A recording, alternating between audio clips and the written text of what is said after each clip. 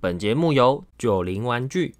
Portal Store 赞助播出。有玩 PTCGL 的县民可以到 Portal Store 购买序号，输入代码 Skyline 可以享五趴折扣哦。好大家好，我是天线。我们今天要来介绍的是这个拉霸铁金级的牌型，借由丢弃技排护上方的牌，以指定目标来计算伤害的牌型，也就是玩家们俗称的拉霸牌。没错，每次一出这种宝可梦啊，我就会忍不住研究一番。而这次又刚好出在我最喜欢的雷属性身上，所以就不断研究中找到一个平平衡点哦。首先呢，我们放到。四张的铁金级，第一招坏死压榨，一雷物可以使用，将自己排库上方五张卡翻到正面，造成其中的未来卡张数乘以七十点伤害，将翻到的正面未来卡片丢弃，剩余的卡片放为排库重戏。第二招百万盾金钩币，三雷物打一百四十，作为这副主打手，丢弃的目标为未来标记的卡片，不管是宝可梦或训练家都算。而优点是非未来的卡片会回到排库重戏，这让厉害钓竿等关键的卡片可以有效使用。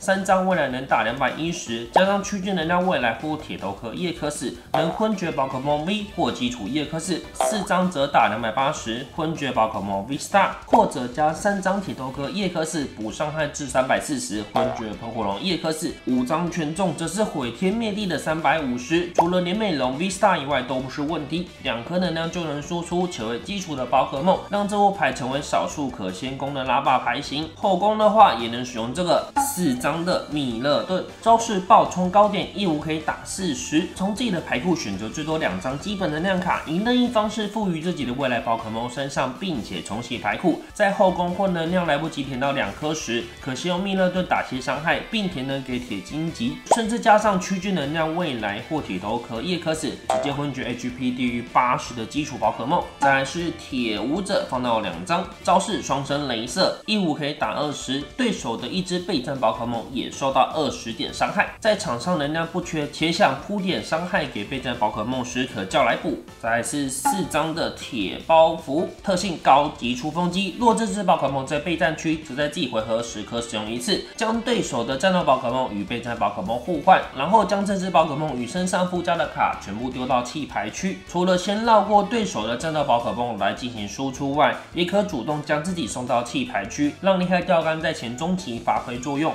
四张的铁。头壳叶克斯特性孤蓝指令，只要这只宝可梦在场上，自己的未来宝可梦铁头壳叶克斯除外，使用的招式对对手的战斗宝可梦造成伤害加二十点。即使的增伤方式配合区域能量未来增伤最大量为一百。不过这是张两张奖赏卡的叶克斯，没事的话别下，避免奖赏卡被二二二拿。可利用物品卡丢弃，让厉害钓竿回收，必要时再叫出来增伤即可。最后呢，我们放到一张的梦幻叶克斯，特性重启，在自己回合时刻使用一次，从牌库抽卡，直到手牌满三张为止。招式基因害路三无可以使用，选择一个对手的战斗宝可梦持有的招式作为这个招式使用。整副牌唯一非未来标记的宝可梦，也是唯一的抽绿宝可梦，可善用暗马迷的解读，直接堆叠资源来抽出。有多余的能量，也可先填给他一颗，必要时才可使。用它的基因害路来输出宝可梦的部分就放到这些，是不是相当的简单明了？好像铁金级密勒顿这种主要的宝可梦放满四张铁包袱，可以不占备战空间位置；铁头壳则是可以及时的增伤；铁舞者是可以补些伤害；梦幻则是唯一抽率啦。这边就是所有宝可梦的部分啦。接着是我们的物品卡，放到四张的高科技雷达，两张的巢穴球，铺场的部分有这六张，这布置现在少数铺场需求不高的牌型。预留好三张左右的备战空间，让中后期要开始拼牌时，才有空间让手牌的宝可梦下至备战区，以便梦幻叶克斯等支援者抽牌。这部非未来的宝可梦只有梦幻叶克斯，追手上有巢穴球的时候，记得先扑出它来。三张大地之容器，一个拿基本能量卡到手上的物品卡，也能减少自己的手牌，让梦幻叶克斯或梅洛可可多抽牌。放两张来说有点嫌少，但先攻没有填能量又太亏了。测试时放四张满又有点。多，所以最后决定是三张，四张的厉害钓竿。这副牌主要的续战方式，除了将铁金级洗回牌库以外，也能将未来标记的宝可梦洗回去，增加铁金级搬出未来标记的机会。如果觉得四张厉害钓竿不够，可再投入一到两张的朋友手册来回收暗玛迷的解读。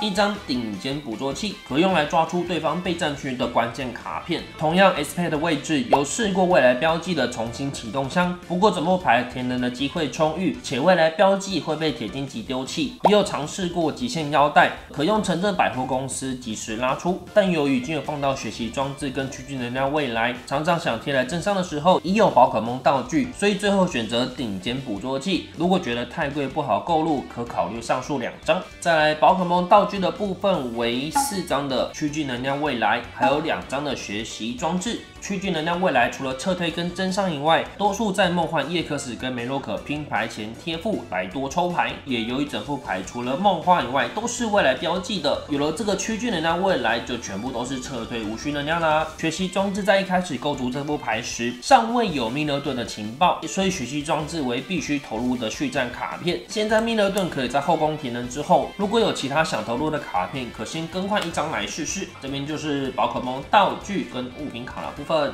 支援者梅洛可，我们放到四张。这张卡必须在上个对手的回合，自己的宝可梦被昏厥了才可使用。从自己的弃牌区选择一张基本火能量卡，赋予自己的宝可梦身上，然后从牌库抽卡，直到手牌满六张为止。主要抽绿兼铁冷的支援者，原本的位置是阻拦的霸气或奇数，而梅洛可除了抽牌外，还可以多了填能的方式。相比用电气发生器来填能，梅洛可虽然较被动，但可减少牌库能量的数量，来多投入一点未来。标记的卡片，按妈咪的解读放到四张，从自己的牌库选择任意两两张卡，将剩余的牌库重启，将所选的卡以任意序列排列放回牌库最上方，配合梦幻叶克斯来叠出想要的资源，或者铁金级输出前先稳定两张是未来。至于叠的对象，可先看弃牌区的宝可梦数量，数量较少时可叠铁舞者跟铁包袱，将他们到弃牌区之后，下个回合才可以用厉害钓竿将他们回收到牌库重启，增加未来标记的数量。如果弃牌区的宝可梦数量已经够多，则可选择叠这个浮屠博士的剧本，我放到三张，基本上就是铁金级丢弃的目标啦。比起宝可梦来说，优点是不会开局，其他使用的时机是前期我们下铁头壳叶克斯增伤后，回收铁头壳叶克斯，避免被拿两张奖赏卡的方式。再来是经济茶卡，城镇百货公司放到两张，开局不管是战什么，都可用城镇百货公司或区区能量未来来撤退。想要用铁金级输出前，也可抓学习。装置来压牌，最后是能量卡，基本雷能量四张，基本火能量四张，能量配比四比四是一个很刚好的数字。火能量单纯让梅洛可抽牌跟天能，若想要投入光辉喷火龙也行，但通常打到了后期需要大伤害时，光辉喷火的两百五十可能不太够，所以我们就放弃直接打单纯的铁金级。好的，这就是全部六十张的卡片啦，总共有三十三张未来标记的卡片，